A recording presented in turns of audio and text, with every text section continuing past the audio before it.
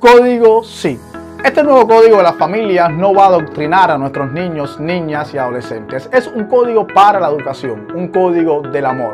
Como muchos han dicho, pues no se va a eliminar esa patria potestad de los padres hacia niños, niñas y adolescentes. Lo que sucede es un cambio en la denominación tradicional. Ahora estamos hablando de responsabilidad parental, una definición mucho más amplia en todo lo que nuestros padres pueden hacer por su descendencia. Además, incluye la protección en los entornos digitales tan necesaria hoy en la era de las tecnologías, en la era de las redes sociales. De ahí que sea un código para la protección, un código para la inclusión y un código que continúa dando derechos a los padres sobre sus hijos.